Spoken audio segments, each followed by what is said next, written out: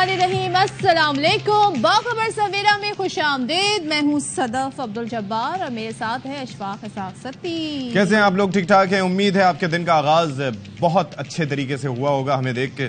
और इस वक्त सड़कों पे सन्नाटा है क्योंकि आप सब हमें देख रहे हैं। ठीक है? मुझे ये पूरा यकीन मुहकम है। यकीन मुसम्मम यकीन मुहकम मैं तंग अच्छा, मैं ये सोचता हूँ वैसे जब- रोज की अपनी तारीफें एक शख्स की सुन सुन के। नहीं नहीं सदफ की भी तारीफ़। सदफ आज बहुत अच्छी लग रही है। ये पर्सन कौन क्या आपने मुझे बताया था? क्रंच कोट के कौन कौन क्रंच ओ माय क्रंच कोट मैं अपनी जहालत यहाँ पर पाकिस्तान के 24 करोड़ आवाम के सामने तस्लीम करता हूँ। मैंने कहा बारिश नहीं हो रही तो ऐसे ही बस फ़ैशन दिस इज़ ग्रेट अच्छा मैं एक चीज़ वैसे सोच रहा था कि आप बच्चों की जब दरसी कुतुब अगर देखें या उनको जिस तरीके से आजकल स्कूल्स वगैरह में पढ़ाया जाता है और उर्दू के अंदर ऐसे अल्फाज इस्तेमाल किए जाते हैं कि जिनका हमारी ज़िंदगी में रोज़मर्रा ज़िंदगी में इस्तेमाल होता ही नहीं है। हालाँकि हम भी यहाँ पर बैठ के कोशिश करते हैं कि हम उर्दू सही बोलें। जैसे जैसे है कंप्यूटर से रिलेटेड टर्म माउस है। हाँ।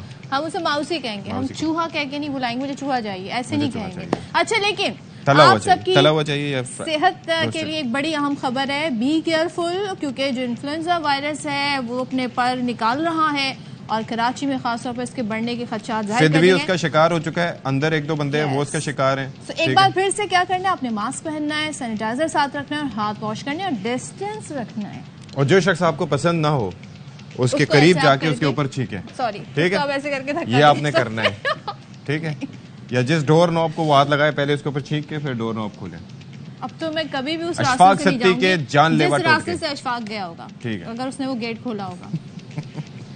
टॉप स्टोरीज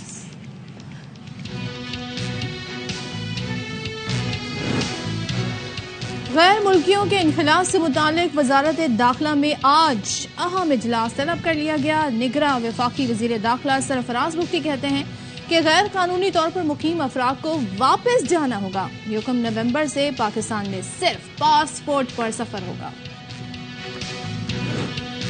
सफाक इसराइली फौज की देरबला में पनाह गजीन कैंप पराठे की तकसीम के दौरान बमबारी। हमलों में अब तक सत्ताईस सौ से ज़्यादा बच्चों समेत साढ़े छह हज़ार से ज़्यादा फलस्तीनी शहीद हो गए। इसराइल ने गजा को ईंधन की फरहमी से साफ़ इनकार कर दिया। वर्ल्ड कप में कौमी क्रिकेट टीम अपना अहम तरीन मैच कल जनूबी अफ्रीका के खिलाफ खेलेगी। मेगा इवेंट में अफ्रीकी बल्लेबाज जारहाना अंदाज अपनाए हुए हैं। शाहीनों के पास गलती की कोई गुंजाइश नहीं।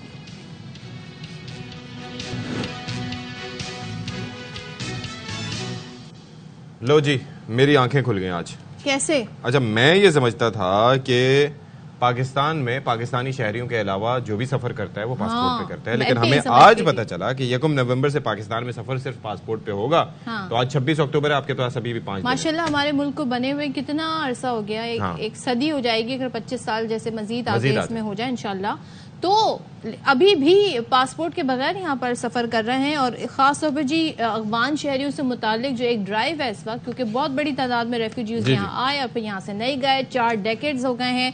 तो पाकिस्तान में गैर कानूनी तौर पर मुकीम अफगान शहरियों को अपने वतन वापसी का सिलसिला जारी और अब तक अब तक क्या तादाद है क्योंकि यकम November is the deadline सड़सठ हज़ार नौ सौ अस्सी अफगान पना गुजीन अफ़गानिस्तान वापस जा चुके हैं और विफाकी हुकूमत ने गैर कानूनी तौर पर मुकीम जो गैर मुल्की भी हैं अदर देन अफगान नेशनल्स उनको भी पाकिस्तान छोड़ने के लिए इकतीस अक्टूबर तक की डेड लाइन दे दी है। तो इस हवाले से आज एक अहम इजलास भी है। बिल्कुल जी निकाल रहे हैं और इस तरीके से इस पर निगरान वज़ीर दाखिला का क्या मौकफ है? वो जरा आपको दिखाते हैं। मीटिंग होगी और हम पर कोई सॉलिड स्टेप्स लेने की कोशिश करेंगे। तो ये एक बड़ा लॉन्ग लास्टिंग इशू है। तो उसको हम थॉरली पहले तो डिस्कस करना चाहते हैं for our own understanding and for the understanding of honourable members of the parliament date क्या एक्सटेंड की जाएगी तमाम इलीगल रेजिडेंट्स को? तक तो इस तरह की कोई प्रपोजल नहीं है। लीव है कि हमने फ़र्स्ट नवंबर के बाद वन डॉक्यूमेंट रिजीम करना है। कोई भी पाकिस्तान में ट्रेवल करना चाहता है, वो पासपोर्ट लेकर आएगा। को इस तरफ़ लेके जा रहे हैं कि जैसे ये कोई एथनिक्स वो है। जो भी इलीगल पाकिस्तान में रह रहा होगा हमने उसके फ़ेज़ वाइज बनाए हम कोई डिप्लोमेटिक इंटरफेरेंस नहीं है नॉन डिप्लोमेटिक इंटरफेरेंस की इसमें कोई ज़रूरत है। बिकॉज़ दुनिया वेस्ट की बात कर रहे हैं अगर आप तो वेस्ट खुद आपको बगैर डॉक्यूमेंट के छोड़ेगी वहाँ पर। तो आज है 26 अक्टूबर अब कुछ ही दिन रह गए हैं डेडलाइन को मीट में करने के लिए। इसी हवाले से बात कर लेते हैं निगरान वज़ीर दाखिला सिंध ब्रिगेडियर रिटायर्ड हारिस नवाज़ साहब हमारे साथ हैं। Haris Nawaz sahab thank you so much good morning to you sir बताइए अब तक जो नंबर्स हमारे सामने आए, यही नंबर हैं एग्जैक्ट दूसरे क्या आज इजलास में होगा और नवंबर तक की फ़र्स्ट तक तमाम तरह जो आपने गोल्स रखे हैं, वो अचीव हो सकेंगे? या जैसे कि सहाफ़ी ने भी सवाल पूछा कि डेडलाइन आगे बढ़ सकती है क्या? बात यह सदब के, ये एक बहुत ही प्रॉब्लम है हमारे मुल्क में, जिसकी वजह से बहुत हमने सफ़र किया है। और कहीं ना कहीं हमें इसको फुल स्टॉप लगाने की ज़रूरत थी और ये इट इज़ अगेंस्ट ऑल गैर मुल्की तारकिन बताया it is not against one country ये एक एबाम क्रिएट किया जा रहा है जान के शायद कभी किसी एक मुल्क के खिलाफ किया जा रहा है। इसमें इंडियंस भी हैं इसमें बांग्लादेशी भी हैं इसमें दूसरे ममालिक के भी हैं तमाम लोग शामिल लेकिन ज़ाहिर नंबर्स के हिसाब से अगर बात की जाए तो सबसे तो ज़्यादा ज़्यादा है। Yes hmm. और उसके बाद ये कि देखें प्रॉब्लम ये है कि अफगानी जो यूनाइटेड नेशन अफगानी जो है रिफ्यूजीज का एक कमीशन है। उनके मुताबिक पाकिस्तान में 1.4 मिलियन रजिस्टर्ड अफगानी रिफ्यूजीज है जिनको जो हमारे मेहमान रहेंगे। हम उनको बिल्कुल डिस्टर्ब नहीं कर रहे हैं। जिनके नादरा के रजिस्टर्ड कार्ड हैं दे विल ऑल्सो स्टे वो भी हमारे मेहमान रहेंगे। लेकिन ऑल दो जिनके पास जो वीज़ा है या या गलत तरीके से आए हैं फिर कार्ड हम्म। जाली हैं नादरा के कार्ड जाली हैं उनके लिए ये वार्निंग है कि first October thirty first October is the last day और फ़र्स्ट नवंबर से हमने पूरी अच्छा, तैयारी की है। मुझे ये बताइए ज़ाहिर है कि आप दिफाई मामला पर भी नज़र रखते हैं और वजारत दाखिला का सिंध का कलमदान भी आपके पास है। ये ओवरऑल नंबर क्या है जो कि हुकूमत के जहन में है कि इतने लोगों को बिलखसूस अफान बाशिंदों को हमने बाहर भेजना है? क्योंकि अभी कल मैं एक खबर देख रहा था कि कुछ जो है वो खसूसी परवाजों से बरतानिया जाएँगे हाँ। उनकी तो लॉटरी लग गई भाई। कि वहाँ पर उनको पूरा अरेंजमेंट वगैरह उनका सेटलमेंट हो रही है। ये तमाम तरह अरेंजमेंट हमारी तरफ़ हाँ, से की जा रही है। तो ये क्या चक्कर है जरा बताएँ तो। देखें बात ये है कि पाकिस्तान में तकरीबन तीन से चार मिलियन जो रिफ्यूजीज हैं पाकिस्तान के अंदर। चालीस लाख और जी और हमने बहुत मेहमान नवाजी की है। दुनिया में कहीं ऐसे नहीं होता कि पूरे मुल्क में आपके गैर तारकिन वतन वहाँ पर रह रहे हों। विदाउट हाँ। वो पहले डॉक्यूमेंट्स हो और उसमें फिर टेररिज्म भी हो रहा हो उसमें सहूलतकारी भी हो रही हो उसमें हर किस्म की प्रॉब्लम की गई। ड्रग्स का भी इस्तेमाल हो रहा हो उसके बाद डकैती और स्नैचिंग सब कुछ चल रहा हो। हम्म, हम्म। तो आई थिंक और फिर रबी अव्वल में के महीने में जो एक हादसे में मस्तूम हुए और उसके बाद दूसरा एक और हुआ है। इसको देखते हुए आई थिंक हुकूमत पाकिस्तान ने फैसला किया कि enough is enough now every illegal person has to go to their respective country और इसके लिए हमने पूरा एक महीना दिया। Okay. इस दौरान में हमने तमाम at least we talk about Karachi तो हमने कराची में तमाम जो है हमने इंफॉर्मेशन ले ली है किस जगह पर किस तरह लोग रह रहे हैं। हमने एक कमेटी बनाई है सिंध में जिसमें नादरा के रैप होंगे उसके बाद डिप्टी कमिश्नर फिर स्पेशल ब्रांच के लोग और उसके साथ पुलिस इनको ये वन विंडो ऑपरेशन में हम इनको देखेंगे। जिसके भी कार्ड जाए कार्ड गलत होंगे जाली होंगे ओवरसेट वीज़ा होंगे जिस मुल्क का होगा देन दे विल हैव ये ये तो बड़ी पहले हो जाना चाहिए था और ईरान से रिलेटेड भी जो बड़ी इंपॉर्टेंट खबर आई है जो ईरानी वज़ीर खारजा हैं वो ये कहते हैं जी गैर कानूनी जो तारीखी बदन है उनके खिलाफ वर्जियों से निपटना अफगान दुश्मनी नहीं है। तो हारिस नवाज़ साहब साथ ही रहेगा ये ज़ाहिर एक इससे ही जुड़ी खबर है। जिन अफगानियों के पास कानूनी दस्तावेजात नहीं उन्हें वापस भेजा जाएगा। चंद माह में तकरीबन दो लाख गैर कानूनी मुकीम अफगान बाशिंदों को मुल्क बदर किया, ये बताना है रानी वज़ीर दाखिला अहमद वाहिदी का। ईरान से गैर कानूनी तारीखीन वतन की बेदखली पर वज़ीर दाखिला है ईरान के, उनकी जानब से ये अहम स्टेटमेंट है। तो हारिस नवाज़ साहब ये कोई अब ज़ाहिर ईरान भी ये स्टेप उठा रहा है और हर मुल्क ये इसलिए भी करता है कि उनके अपने वसाइल अपनी आबादी में तकसीम हो। अगर आप इतने सारे लाखों की तादाद में गैर मुल्कियों को भी होस्ट करेंगे एक, एक टाइम तक होस्ट किया जा सकता है लेकिन आप मुस्तकिल की बुनियादों पर उनको नहीं रख सकते। तो इसको किसी भी शहरी या किसी भी कौमियत से दुश्मनी नहीं करार दिया गया ये भी उनका कहना है। तो आप इस पर क्या कहना चाहेंगे कि ये ईरान भी कर रहा है ऐसा? बिल्कुल ये स्टेटमेंट सही है। It is not against any country Pakistan Afghanistan India Iran they're all sovereign states और हमने अपने मुल्क के कवानीन के मुताबिक मुल्क की इकोनॉमी को देखते हुए हमने फैसला करनी है हमने बहुत मेहमानदारी की है। आई थिंक जितनी हमने मेहमानदारी की है और उसके बदले में हमें क्या इनाम मिला वी ऑल नो इट इसलिए इस वक्त फैसला किया गया है कि पाकिस्तान से कोई जितने गैर मुल्की तारकिन वतन जिस मुल्क से बिलोंग करते हैं। It is not against any one country इसमें आपको मैंने नाम लेके बता दिए सबके बारे में है। सबको निकाला जाएगा बिला तफरीक हम निकालेंगे। और हमने तो अपना फैसला किया कि यहाँ से जो इंडियंस होंगे वो यहाँ से रेलवे स्टेशन के थ्रू जाएँगे लाहौर। वहाँ पर बॉर्डर के ऊपर हमारी एफ़ आई उनको हैंड ओवर करेगी इंडियन हुकूमत को। अगर अफ़गानिस्तान के तो हम बलूचिस्तान के बॉर्डर पे अपने लोगों को रियलिस्टिकली स्पीकिंग एक तो होते हैं ना कि टारगेट जहन में रखे जाते हैं। आज जैसे कि 26 तारीख हो गई अब तक अगर नंबर हमारे पास है कि सड़सठ हज़ार गए हैं तो 40 लाख तो नहीं जा सकते ना? देर हैज़ टू बी लेकिन I do agree but the point is के जितने मैक्सिमम चले जाएँगे थर्टी फ़र्स्ट के बाद उनको फिर हम ज़बरदस्ती निकालेंगे। और ये प्रोसेस कंटिन्यू रखे जाएगा देखिए we don't want to be very very harsh we will be very polite हम बहुत फैमिलीज़ का रिस्पेक्ट करेंगे उनको अच्छे तरीके से डिपोर्ट करेंगे। पैसे भी देंगे गाड़ी में बिठाएँगे खाने पीने का अरेंजमेंट करेंगे। रहने का हमने उनका अरेंजमेंट कर दिया है। This is very realistic statement जो आप दे रहे हैं। क्योंकि भुगटी साहब ने जो बयान दिया मेरे ख्याल में थोड़ा सा फार स्ट्रेच था कि जी यकम नवंबर से सिर्फ़ पाकिस्तान के पासपोर्ट पे ही सफ़र हाँ। होगा। Obviously we all want that और ये आज से पता नहीं चालीस साल पहले या उससे पहले हो जाना चाहिए था। और लेकिन ये है कि थोड़ा सा एक आपकी बात करीब है ज़्यादा हकीकत के। नहीं उसमें सती फ़र्क ये है कि मतलब ये है कि फ़र्स्ट के बाद कोई पाकिस्तान में विदाउट वैलिड वीज़ा के नहीं आ सकेगा।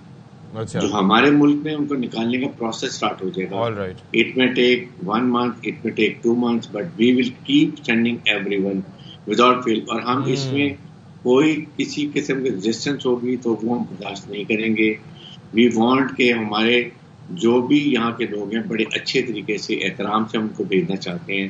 लेकिन इट डिपेंड और फिर उसमें जो सहूलत कार है अगर किसी ने पनाह दी हुई है और वो रजिस्टर्ड हैं देन उनके खिलाफ कानून के मुताबिक पाकिस्तान में कार्रवाई भी की जाएगी। दैट इज़ ऑल्सो देर तो वी आर वार्निंग एवरी आज मैं एक रिलीज़ भी इशू करूँगा मीडिया को भी हम भेजेंगे ताकि स्टिल उनको वार्निंग टाइम किया जाए कि please don't take it easy it is serious we mean business हम इस अब मुतहमल नहीं हो सकते। पाकिस्तान फ़र्स्ट पाकिस्तान है तो हमें इसके लिए हम हर हद तक जाएँगे कि अपने मुल्क से गैर तरके बदल को मुल्क बदल ठीक है। Thank you so much Haris Nawaz sahab गुफ्तु करने के लिए। देखते हैं जी इस पे किस तरीके से आगे मामला बढ़ते हैं। तो अब हम जरा एक और अहम मुद्दे की जाने बढ़ते हैं जिस पर सबकी नज़रें हैं दिल हाँ, थोड़े हाँ। दुखे थोड़े नहीं काफ़ी दुखे हैं मायूस भी तो है। अब तो आदत सी हो गई है मुझको तो ऐसे जीने में।, में। तो क्या हो रहा है जी? वर्ल्ड कप हो रहा है। आईसीसी वर्ल्ड कप इंडिया में हो रहा है। ये आपने एकदम से देखा मैजिक हमारे पीछे हुआ। तो अशफा हम्म। कल क्या हुआ? ऑस्ट्रेलिया ने कल मैक्स बॉल हुआ। नौ रन मैक्स बूजर्ड कर दिया मैक्स वेल ने तमाम नेदरलैंड बेचारी नेदरलैंड 309 रन से इस गेंदों पे अपनी सेंचुरी नेदरलैंड के भी एक बात कर लें बेचारों के दिल कितने मतलब आप सोचे इस बंदे ने 40 गेंदों पे सेंचुरी बनाई और, और पूरी नेदरलैंड्स ने नब्बे रन बनाए। मुझे एक एतराज़ है ऑस्ट्रेलिया से। वो क्या? भाई आपने तीन सौ निन्यानवे बनाए एक रन बना लेते चार सौ कर लेते मतलब किसने रोका था आपको? इससे पहले साउथ तो अफ्रीका भी तीन सौ निन्यानवे बना चुकी है पता है आपको? नहीं मतलब एक रन और बना लेते तो चार सौ हो जाते। और 309 रन से हारना मेरे ख्याल में इससे बड़ा कोई मार्जिन ये सबसे बड़ा मार्जिन है यहाँ पर वर्ल्ड कप में स्पेशली अच्छा जी इसके अलावा जो स्टार ऑफ़ द इवनिंग एक और भी थे वो थे डेव वार्नर और डेविड वार्नर की एक तो पाकिस्तान के खिलाफ जो उन्होंने कैच छूटने के बाद तबाही मचाई थी दूसरी हाँ। तबाही आज मचाई और छह सेंचुरीज कर चुके हैं अब तक वो क्रिकेट वर्ल्ड कप में ओवरऑल अब तक जो उन्होंने खेले आपको जरा दिखाते हैं। जी। तो उसके बाद आप ये देखें कि ये overall everybody played well and this scored like 399 उसके बाद जब नीदरलैंड्स की बैटिंग आई तो फिर उसको चेस करने की कोशिश ही नहीं की गई। और मुझे ये लगा कि नीदरलैंड्स के पीछे कहीं ऐसा नहीं कि हमारे शाहीन खेल रहे हों। क्योंकि वो भी इतनी परेशानी का नीदरलैंड से ना इतना मुकाबला करें हो और नीदरलैंड अच्छी टीम है। बस बस कर वेस्ट इंडीज ने क्वालिफाई नहीं किया इन्होंने किया है। जिम्बाब्वे ने नहीं किया इन्होंने किया है। ठीक है आप अपनी टीम को उसके टाइम पर सुनाए। मतलब नेदरलैंड का टाइम उन्होंने सुनाए अच्छा क्या किया है भाई तुम लोगों ने? हाँ। क्यों नहीं अच्छा खेला? ऐसे जेम्पा से आउट हो गए। जेम्पा ने हमारे खिलाफ भी विकेट ली थी। अच्छा। मुझे पता नहीं क्यों याद आ जाते लेकिन ये भाई जो ऑस्ट्रेलिया ने जो कम किया है शुरू में आपको पता है ऑस्ट्रेलिया कितनी बुरी तरह हारा था और सब कह रहे थे ये वही टीम है जो एक साल पहले। और एक चीज़ आपको बताएँ अब इस जीत के बाद ऑस्ट्रेलिया की और जिस मार्जिन से जीते हैं जो पॉइंट्स टेबल पर हमारी पोजीशन हम्म। हो गई है ना वो थोड़ी सी और जरा जी खराब हो गई है। इसलिए कि अब रन रेट से वाली मामला आ गया है वरना तो हम सोच रहे थे जी ऑस्ट्रेलिया अगर मगर वाले सिलसिले अब तो वो निकल बड़ा मार्जिन आ गया solidified their position at number four और बाकी जो टीमें हैं वो आपके अंदर मौजूद है। Number one is India number two is south Africa number three is New Zealand and number four is Australia पाँचवें और छठे नंबर पर पाकिस्तान और अफ़गानिस्तान मौजूद है। इक्वल नंबर ऑफ़ पॉइंट्स के साथ आगे अल्लाह जाने के हमारे साथ अच्छा क्या होगा। जी आज अब का जी बता दें श्रीलंका और दिफाई चैंपियन इंग्लैंड के दरमियान टाकरा. होना है और दोनों टीमों ने चार चार मैचेस खेलकर एक एक मैच जीता है। श्रीलंका बेहतर रन रेट की वजह से आठवें इंग्लैंड. नवे नंबर पर है। अच्छा जी अब ये है कि जुम्मे के दिन क्या होता है सबसे ज़्यादा? क्या होता है?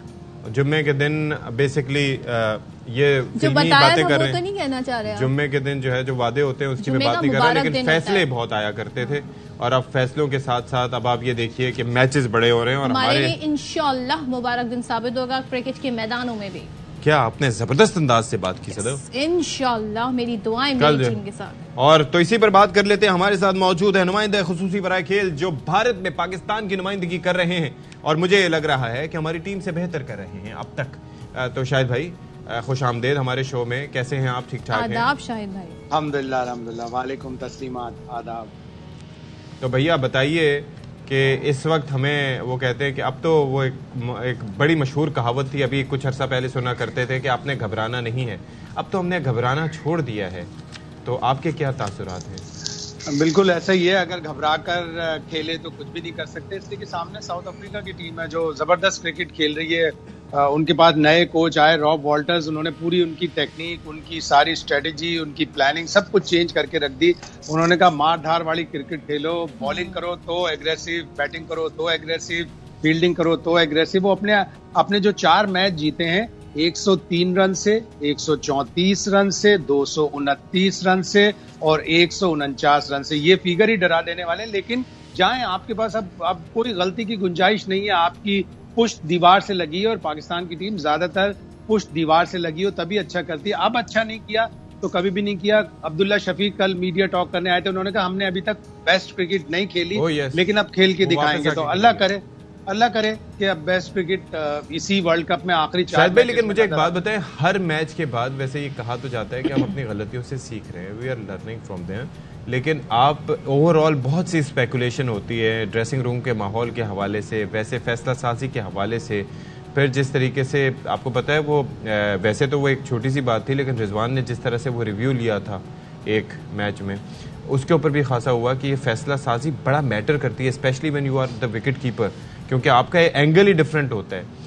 कि बाबर रिव्यू नहीं लेना चाह रहे थे, लेकिन आपने रिक्वेस्ट करके, ज़बरदस्ती करके लिया। तो इसके ऊपर भी काफ़ी बातें हो रही ओवरऑल माहौल कैसा है इस वक्त?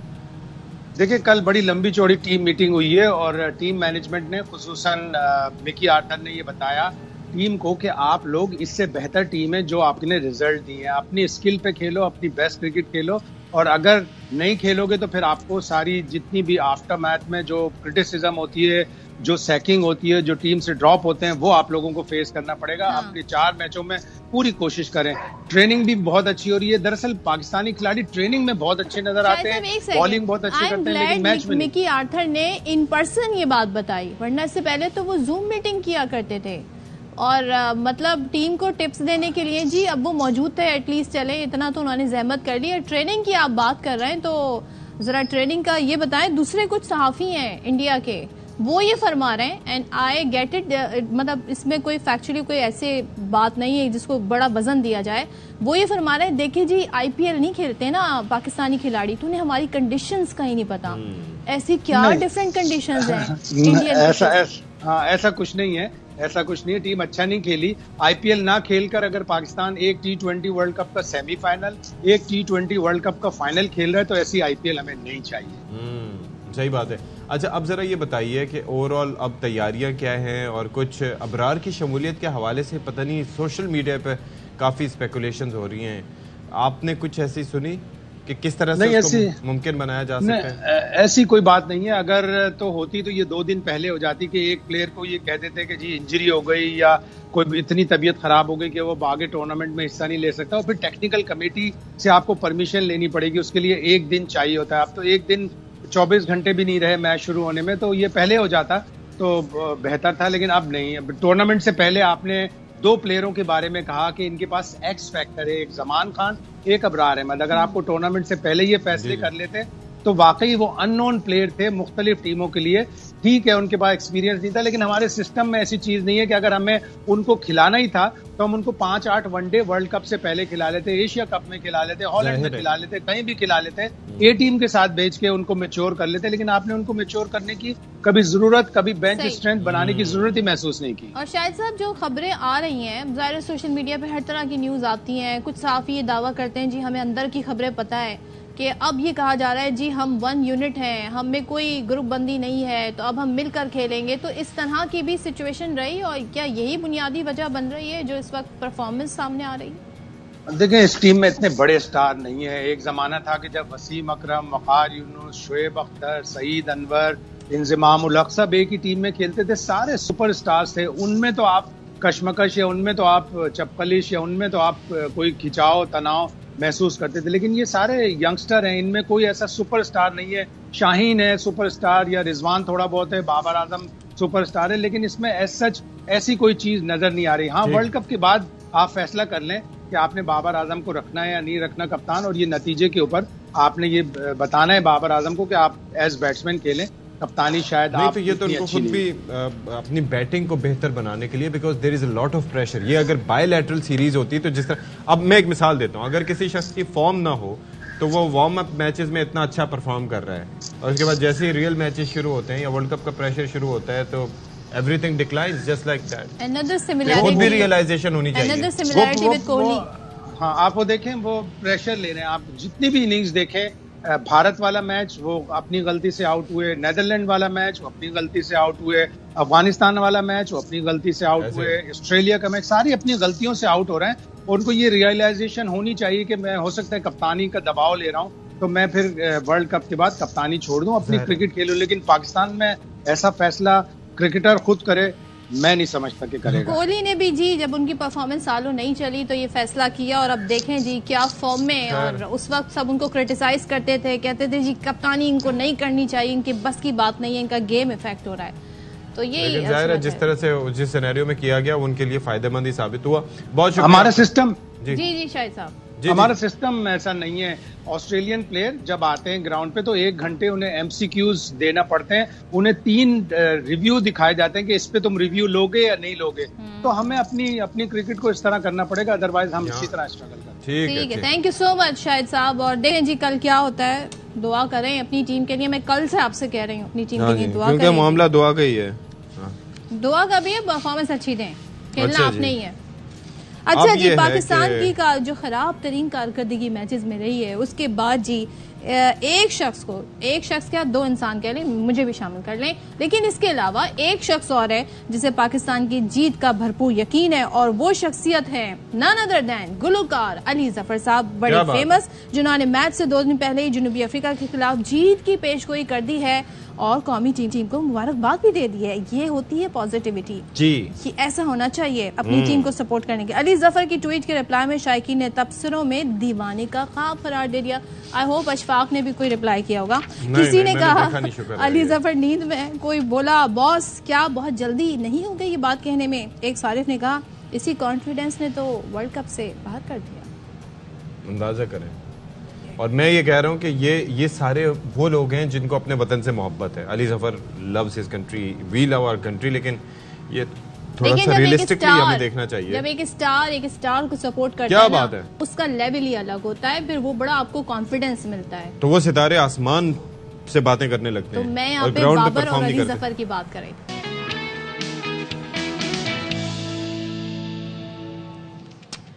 वेलकम बैक वंस अगेन और uh, ज़ाहिर है अब uh, हम अब अपने शो में जहाँ पर आपकी बहुत सारी खबरें लाते हैं तो अपडेट्स भी आपके सामने लेकर आते हैं। तो जी आपको चले जी बता दें। इस वक्त बताते हैं आपको कि मुराद अली शाह जो कि सबक वज़ीर अला सिंध है उन्होंने नैब कोर्ट के बाहर गुफ्तु की है। आपको जरा दिखाते हैं। जो है वो नाराज़ दिखाई देती है खासकर जो केयर टेकर गवर्नमेंट्स है। पीपल्स पार्टी का क्या मौकफ है पीपल्स पार्टी का केयर टेकर का रवैया ठीक है?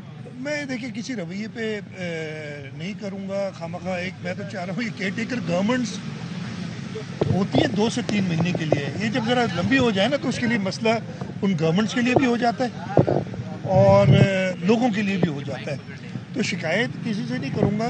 लेकिन मेरा ख्याल है कि वो मैंडेट जो आइन के अंदर है कि दो से तीन महीने हुकूमत हो तो वो गुजर जाता है और उसका कोई अफेक्ट लोगों पे नहीं आता है। अब इशू ये है कि आइन के मुताबिक और कानून के मुताबिक केयर टेकर गवर्नमेंट्स कोई ऐसा फैसला नहीं कर सकती जिसको अगले इलेक्टेड गवर्नमेंट्स आके रिवर्स ना कर सके। तो वो कोई फैसला ही नहीं कर रही हैं। और दुरुस्त भी है उनको फैसले की का मैंडेट नहीं है उनके पास। तो इसीलिए हम, के लिए हम कह रहे हैं कि हल सिर्फ़ इलेक्शंस में है और इलेक्शन की तारीख का जल्द से जल्द ऐलान कर देना चाहिए। और जो इलेक्शन कमीशन की तरफ़ से ही एक आई थी इलामिया कि लास्ट वीक ऑफ़ जनवरी वो डेट जो है मेरा ख्याल है अगर दे दी जाए तो इस तरह आप जो लोगों में परेशानी है वो दूर हो जाएगी और इन ताला मुल्क के अंदर भी जो आपकी बिज़नेस कम्युनिटी है जो आपके कारोबारी लोग हैं बाकी सारे लोग हैं उनके अंदर भी जो अनसर्टनटी है वो इलेक्शन की तारीख जब ऐलान हो जाएगी तो। मुराद अली शाह रहे हैं और जो पीपल्स पार्टी का मुतालबा है काफ़ी अरसे से वो कर रहे हैं कि जी इलेक्शन इंतज़ाम की जो तारीख है उसका ऐलान बस अब कर दें। और मसाइल का हल इलेक्शन में और जल्द तारीख दे देना चाहिए इलेक्शन कमीशन को। और निगरा हुकूमत दो तीन माह के लिए होती है तवील हो तो बा, बात करते हैं फ़न मुसवरी की। तो फ़न मुसवरी की बात करें तो इसको कहा जाता है जी ये तस्वीरी जबान है और जो पिक्चर्स हैं वो बोलती हैं। हम्म। मतलब उसमें हकीकत का गुमा होता है।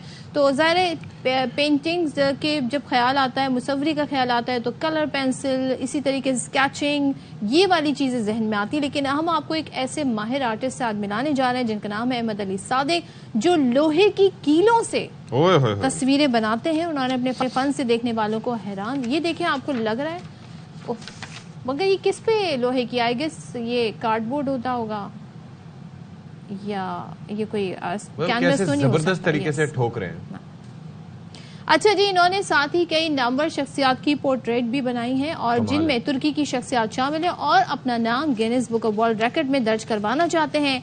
तीस हज़ार किलो की मदद से इन्होंने शायर मशरक अल्लाह इकबाल का पोर्ट्रेट तैयार किया है। हाँ। और सिखों का जो मुकदस मकाम है गुरुद्वारा दरबार गुरुद्वारा साहब करतारपुर का अक्स भी इन्होंने बनाया है। क्या तो बात ये तो जरा बात कर लेते हैं। अब हमारे साथ मौजूद हैं खूबसूरत फन तैयार करने वाले अहमद अली सादिक।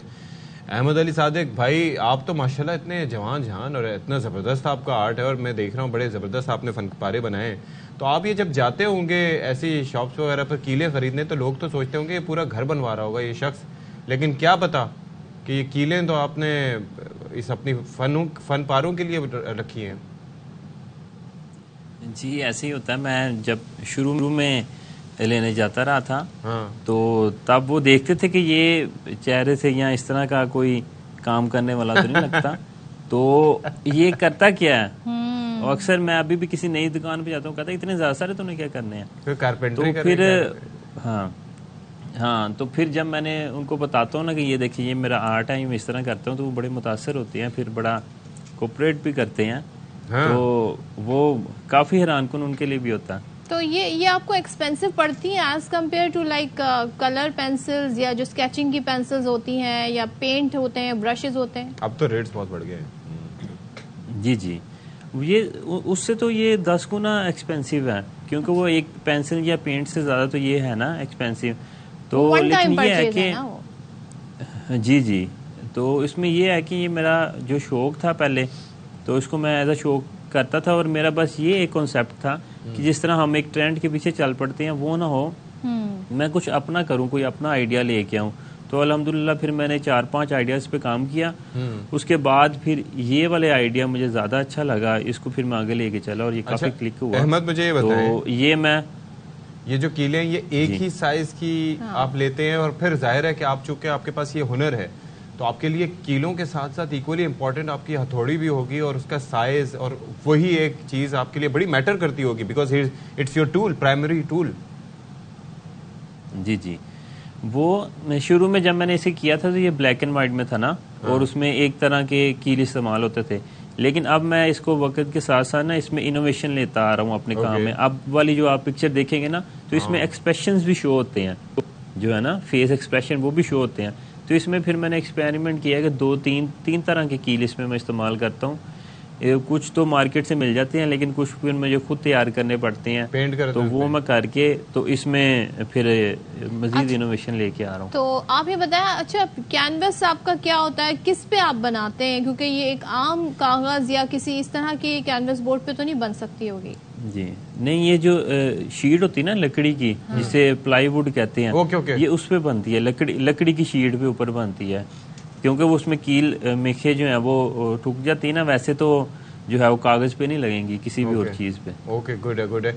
वैसे एक चीज़ मुझे बताएँ कि ये जो कीले हैं आप यूज़ करते हैं ऐसा कभी हुआ है कि किसी को आपको पसंद ना आई हो तो आपने उसको चुभोने की धमकी दी हो कि ना पसंद आया तो मैं चुभो भी दूँगा तुम्हें? नहीं वो जो है अलहमदिल्ला मेरा काम इस तरह का यूनिक है कि जिस जिसने भी देखा ना वो उसने तारीफ़ ही की है। अच्छा। और मैं ये तुर्किश अदाकार जो थे उनको भी दिया पाकिस्तान में भी जो सियासी समाजी शख्सियात को भी दी हैं इंटरनेशनल सीरियसली इनकी बात का जवाब दे रहे हैं ये ये वाले काम खुद करते हैं। तो आप हमारे साथ जरा ब्रेक में जुड़े रहिए हम वापस आएँगे और फिर आपसे गुफ्तु का सिलसिला जारी रखते हैं ब्रेक के बाद आते हैं।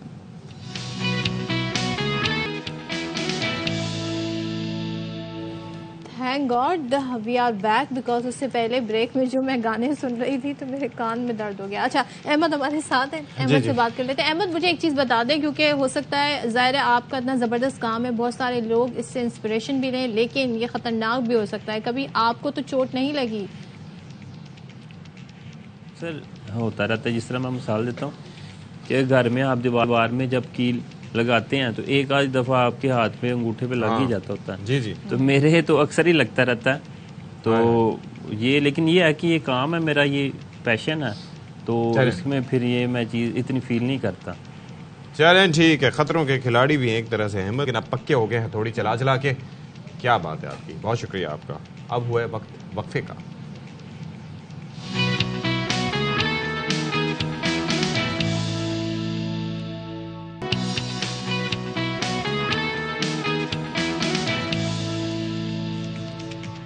वेलकम वेलकम वेलकम आप सबका तालियों की गूंज में।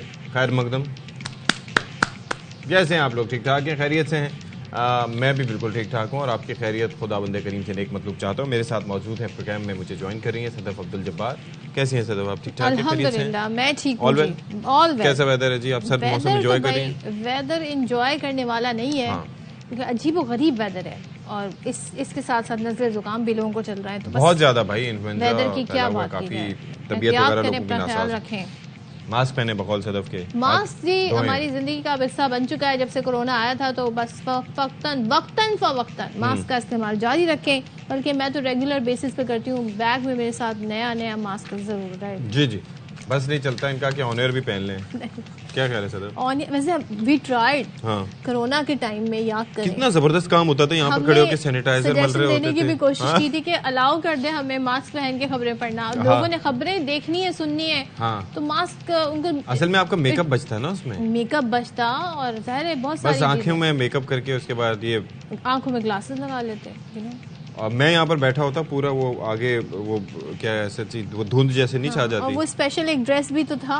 हाँ। क्या क्या कहते थे उसे? वो पीपी पीपी सूट क्या बात है क्या वक्त याद दिला दिया। पूरे साइंसदान बन गए इतने फासले पे बैठे होते थे। हम्म। साथ में सैनिटाइजर रखा आदमी आदमी से डरता है।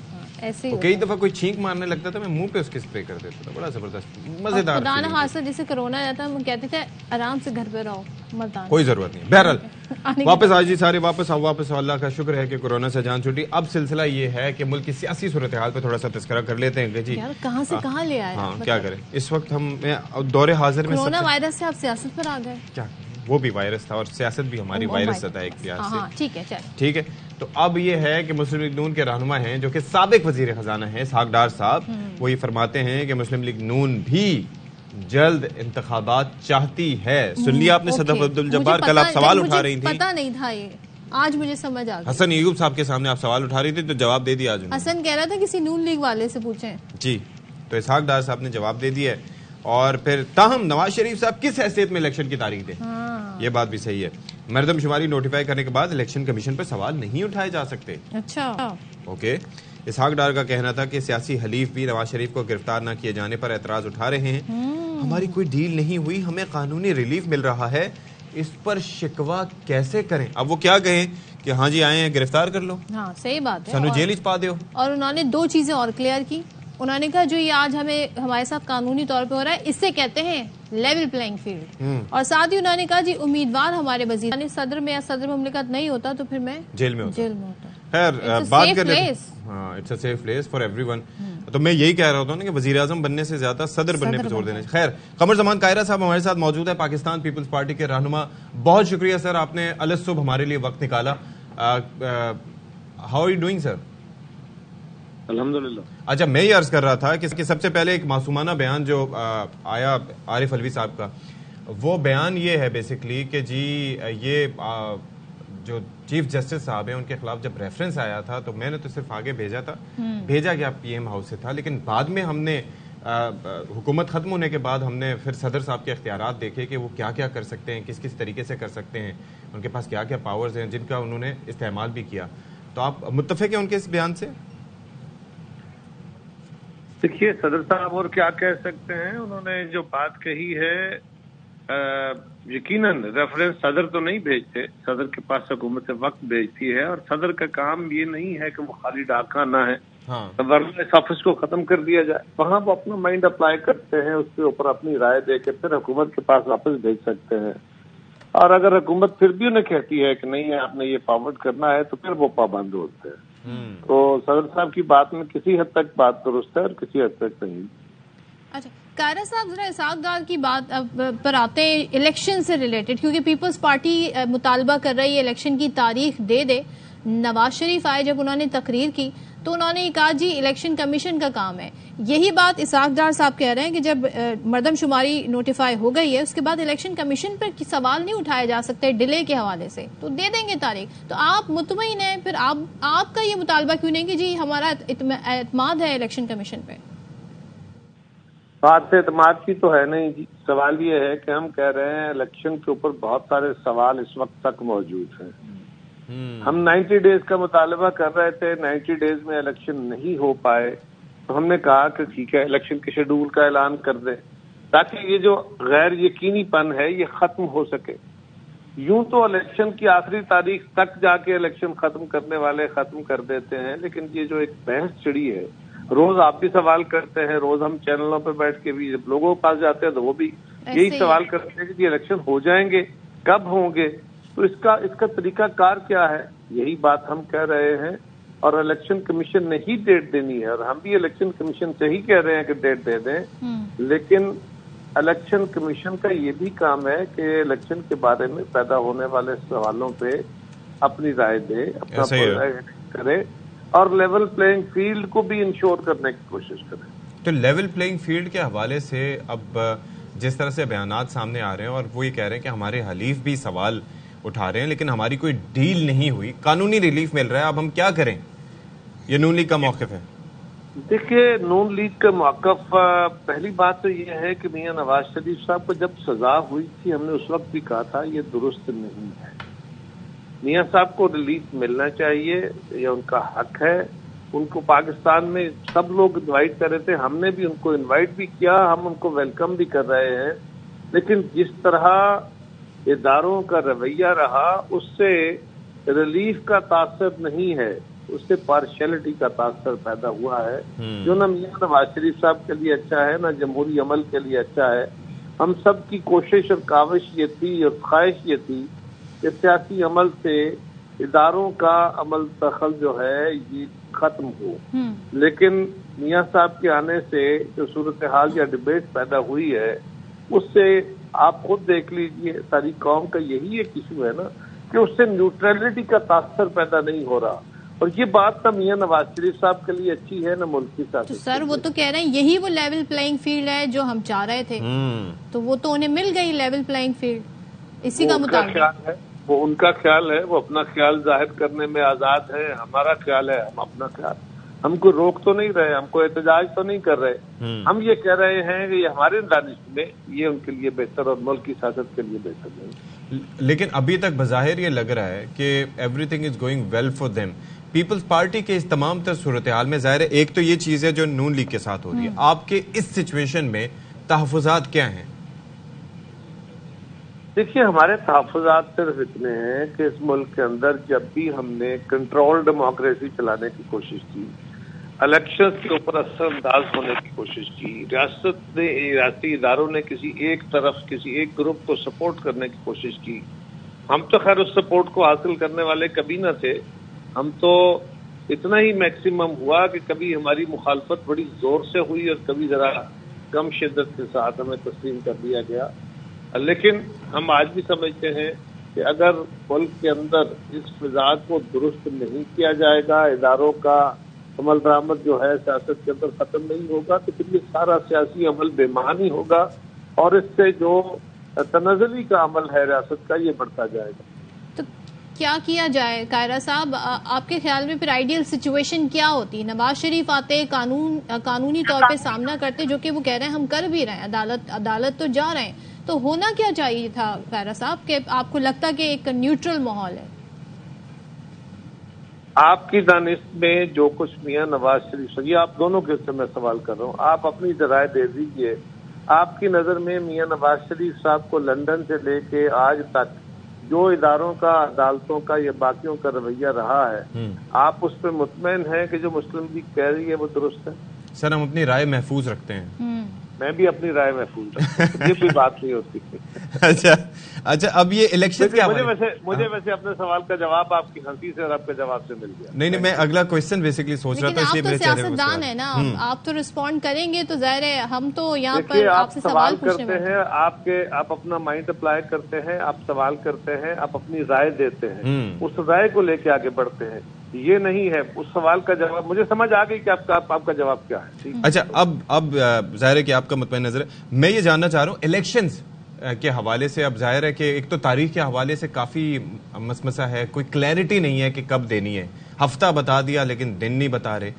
अब उसके ऊपर नून लीग का इसरार ना करना यानी कि बाहिर तो उनके रहनुमा कह रहे हैं लेकिन हम ये एंटिसिपेट कर रहे थे कि जलसे में मियाँ साहब ये कहेंगे हाँ। कि हाँ जी इलेक्शन होने चाहिए इलेक्शन कमीशन तारीख दे। लेकिन वो क्लैरिटी, ये इस तरह से सफाइयाँ दे रहे हैं कि सब, कौन से मियाँ साहब ने तारीख देनी है? तो आपको लगता है कि नून लीग को सूट कर रही है ये सिचुएशन देखिए, बात, पहली बात तो यह है कि कर रही है तो नहीं रेट मांग रहे। हम तो इसीलिए कह रहे हैं कि नून लीग को चाहिए। नून लीग ही नहीं, सभी जमातों को, ये खाली नून लीग की ज़िम्मेदारी नहीं है। सब जमातों को इलेक्शन कमीशन से मुतालबा करना चाहिए कि वो डेट दें और एक पेरेंट की इलेक्शन के रिकॉर्ड कोशिश करे इलेक्शन हम्म। कमीशन हमें इसी तरफ़ आगे बढ़ना है और इससे मुस्लिम लीग को पता नहीं क्यों उससे वो फर है। बजाय इसके कि वो इसका मुतालब कर देते। तो वो कभी कोई बात कभी कोई बात कही इलेक्शन कमीशन ने डेट देनी है। हमें भी यही पता है कि इलेक्शन कमीशन ने डेट देनी है। हम कब कह रहे हैं कि ये डेट मुस्लिम लीग ने या पीसीआई ने या पीपल्स पार्टी ने दे दी तो कायरा साहब? लेकिन लेकिन अगर इलेक्शन कमीशन डेट नहीं दे रहा हम्म। और ये भाम जो है ये बढ़ता जा रहा तो फिर हम सबको ये मुतालबा करने का हक है कि हम इलेक्शन के टाइमली इनका और फेयर इनका के मुतालबे करें और उसके लिए जो तहारत कर सकते हैं करें। तो कायरे से बस एक सवाल और कि फिर क्या आप लोग कहीं मिल बैठेंगे? ज़ाहिर है आप लोगों का सोलह माह इतना अच्छा साथ रहा। अब ये खदशात भी दूर कर लें और डेमोक्रेसी और आप कह रहे हैं मुल्क के लिए बेहतर है कि जी सबको लेवल प्लेइंग फ़ील्ड मिले। तो क्या आपका इरादा है नून लीग से मिलने का आपकी जमात का? मेरे तो चेयरमैन ने पहले भी कहा जब इमरान खान साहब हुकूमत में थे जब हम हुकूमत में थे तभी हमारा ये मौकफ था। अभी चंद दिन कल सुप्रीम कोर्ट बार को खताब करते हुए उन्होंने कहा कि हम सबको मिल बैठना होगा इस मुल्क को आगे बढ़ाने के लिए मुश्तर फैसला साजी कंसेंसस बिल्कुल ऐसे की तरफ़ आगे बढ़ना होगा। हम्म। तो हमारा तो मौकफ है ही ये। हमने तो इससे पहले सीओडी में अठारहवीं तरमीम में आईने पाकिस्तान को बनाते हुए एम आर डी में ए आर डी में तमाम कुतों को इकट्ठा करने की हमेशा ही कोशिश की। ठीक है। Thank you so much Qamar Zaman Kaira sahab. Pakistan Peoples party रहनुमा हमारे साथ मौजूद थे और अपना मौके बहरहाल वो दे चुके हैं।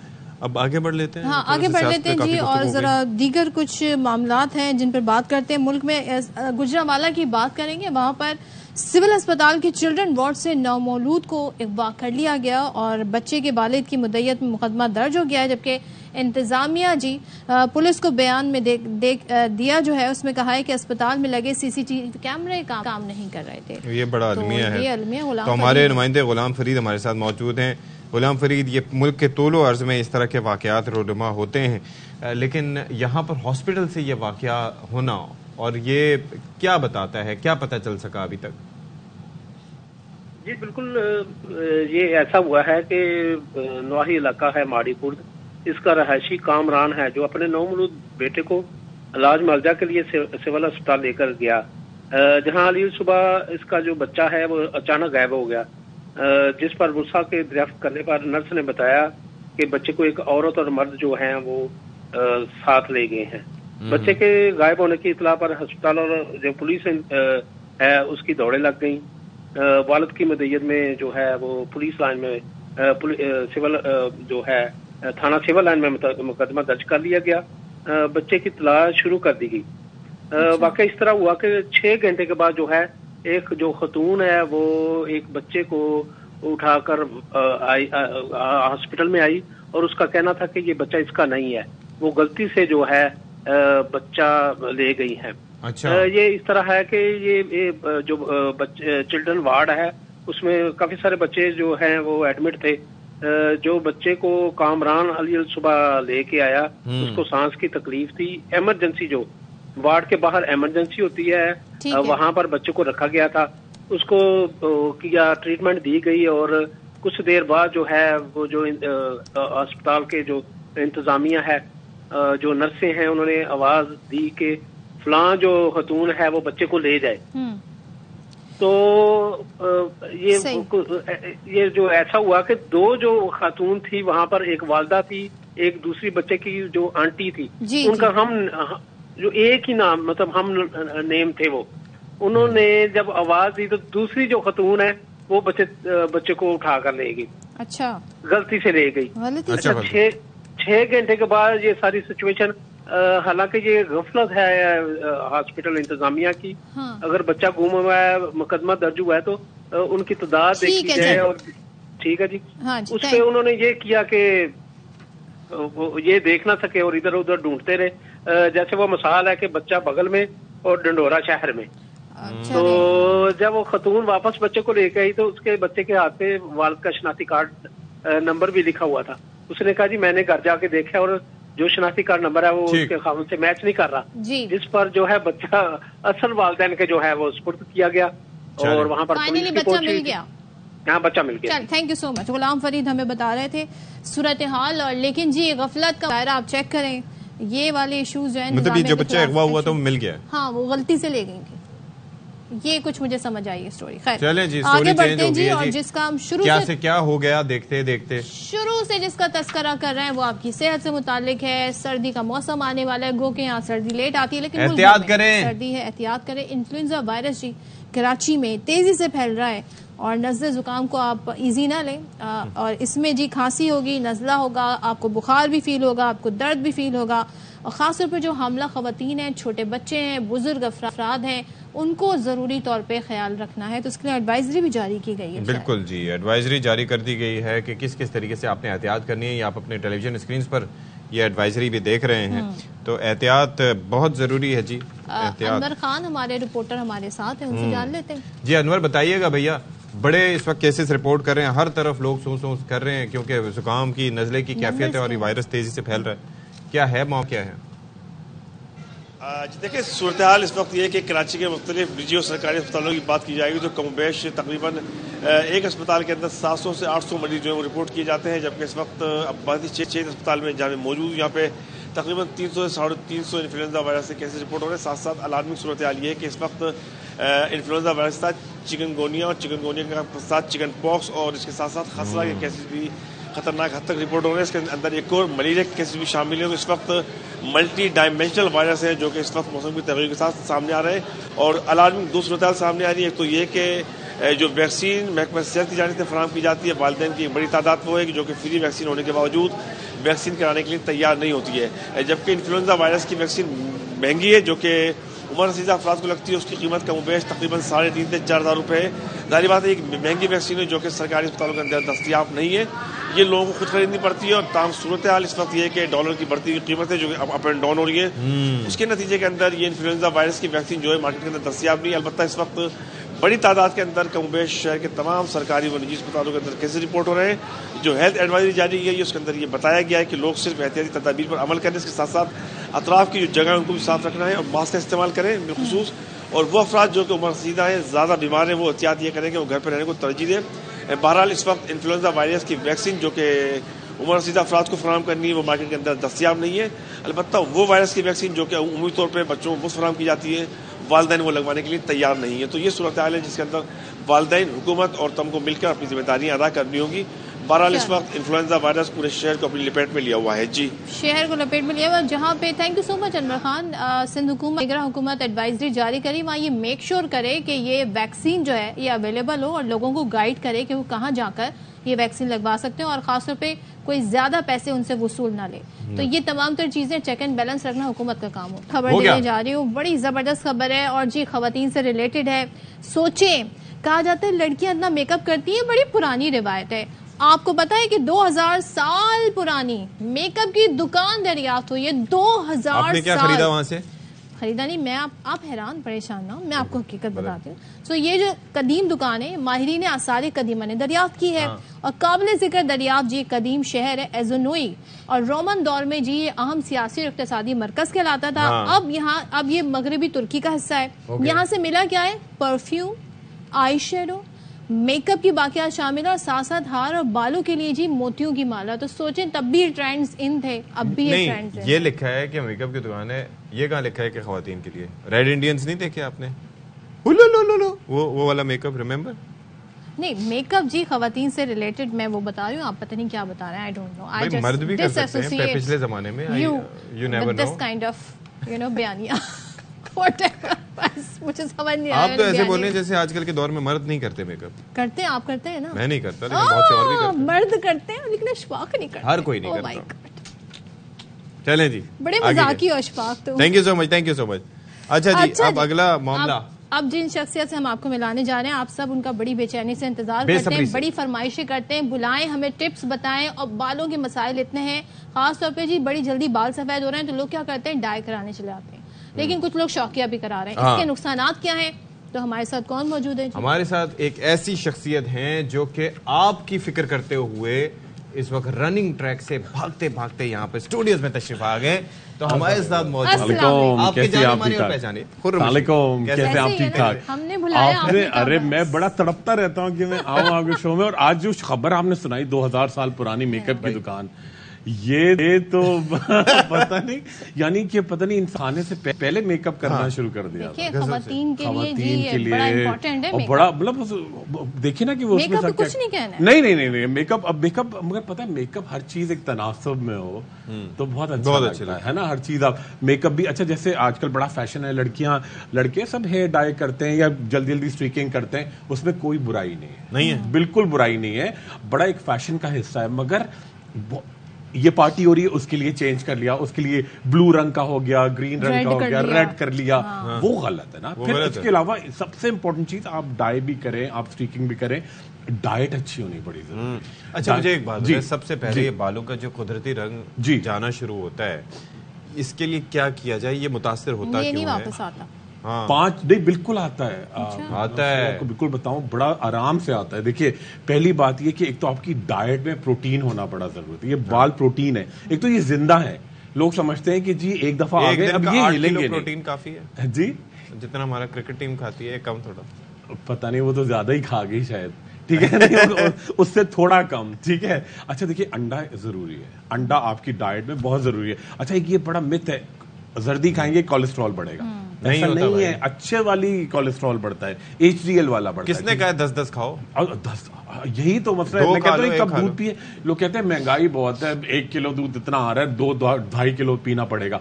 एक छोटा कप ठीक है एक छोटा कप उसमें क्या है. बिल्कुल छोटा शॉर्ट शॉर्ट ठीक है एक शॉट ठीक है? सेकंड चीज़ आप पालक नहीं खाते yes, लोबिया नहीं खाते। so ठीक है अच्छा तेल तो आउट ऑफ़ फ़ैशन है आउटडेटेड है। मैं ये नहीं कह रहा कि आप किसी पार्टी में तेल लगा के चपड़ के जाएँ मगर वीकेंड पे तो तेल लगाएँ ना। भैया आज आजकल तो लड़कियाँ भी जेल बैग बाल बना जेल बैग करती हैं। अच्छा वीकेंड पे तो आप देखो लड़कियाँ आप देखती होंगी फ्रेंड्स हो वो उस पे भी ऑयलिंग कल एक खातून आई कह रही है। मैंने कहा जी आप सर ऑयलिंग के लिए आजकल लगाने से ज़्यादा खाने पे ज़ोर है। है। मसला तेल हाँ। जो तेल लगाना चाहिए वो खाने पे ज़ोर है ठीक है? और जो चीज़ें खानी चाहिए वो लगाने पे अच्छा चले जरा आज नुकसान बताएँ कितनी फ्रिक्वेंटली डाई करना चाहिए अगर शौकिया भी कर रहे हैं? जी। देखिए एक तो डिपेंड करता है कि आपके बालों की कंडीशन क्या है ठीक है? पोटेंसी क्या है? एक चीज़ आती है काला पत्थर ठीक है? एक हर्ब है वो ठीक है? वो व्हाइट रंग का होता है मिस्री की तरह दिखता है। लोग उसे क्रश कर करके बालों में करते हैं कि जी शाइन ज़्यादा आ जाएगी हाँ। कल एक मैंने खातून का देखा पूरा चेहरा यहाँ से जला हुआ। उसकी वजह से? और ये आँखें स्वेलिंग अच्छा और मैं आपको एक बात बताऊँ कि सिर्फ़ ये नहीं कि ये जो आप कलर जो डाई कर रहे होते हैं उससे आपके बाल उससे स्किन पे एलर्जी आएगी।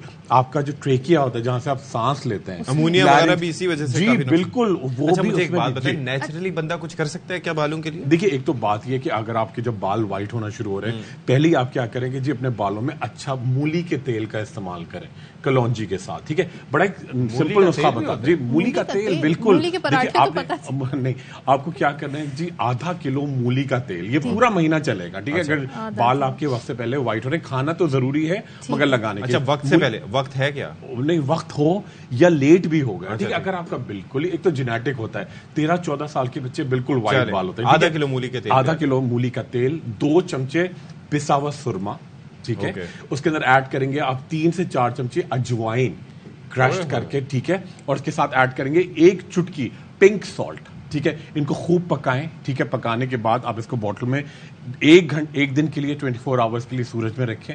विटामिन डी बहुत सारा है इससे खूब मालिश- तो नहीं बन जाएगा नहीं नहीं नहीं नहीं। और उसे खूब मा, अच्छा मालिश करनी है। जब आप मालिश करेंगे तो डेड बाल गिरेंगे नए बालों की ग्रोथ शुरू होगी। लकड़ी का कंगा ले लें। अच्छा लोग कहते हैं लकड़ी और प्लास्टिक में क्या फ़र्क है? भाई लकड़ी में ये होता है कि नेचुरल चीज़ें होती हैं। प्लास्टिक में डाइज होते हैं। लेकिन वाइटामिन डी केमिकल्स होते हैं। बिल्कुल देखिए लकड़ी जो होता है ना वो एक नेचुरल चीज़ होती है ना वो कुदरती चीज़ है। अच्छा जो प्लास्टिक का कंगे होते हैं उसमें ग्लूज होते हैं उसमें डाइज होते हैं उसमें केमिकल्स होते हैं। जब आप करते जाते हैं वो अंदर छोड़ते जाते हैं आपकी जड़ों में। तो आपके बाल भी आपके वीक होते हैं वहाँ डैंड्रफ भी डेवलप होती है।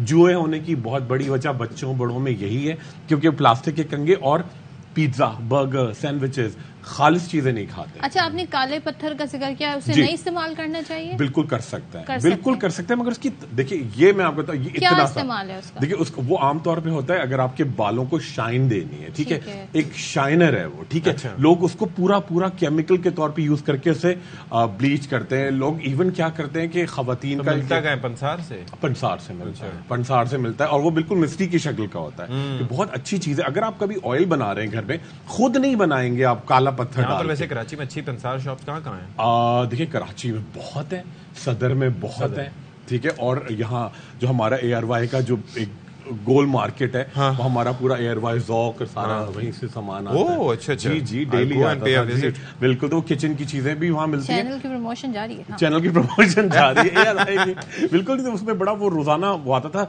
अच्छा जी प्रोग्राम शुरू होने वाला आधा घंटा रह गया पीछे ही है मार्केट हाँ, बिल्कुल। फ़ौरन लेकर आते थे। अच्छा एक बड़ी इंपॉर्टेंट चीज़ मैं आपको बताऊँ कि सेकंड चीज़ बड़ी इंपॉर्टेंट है कि आप इसको मसाज नहीं करते। लोग कहते जी मैं कंघा में हाथ नहीं लगाती या लगाता मेरे बाल गिरेंगे। सौ से डेढ़ सौ बाल गिरना लाजमी है। And it's okay perfectly all right natural चीज़ है एक तो ज़िंदा पहली बात हमारी ज़िंदगी आपकी ज़िंदा चीज़ और सर्दी के मौसम में तो होता है। सर्दी के बिल्कुल। अच्छा मौसम होते हैं शेडिंग पतझड़ का मौसम होता है तो आपके बालों के झड़ का भी मौसम होता है। चले जी।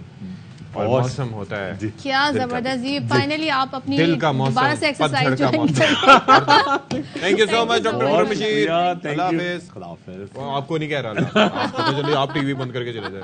ब्रेक के बाद आते ब्रेक के बाद आते हैं।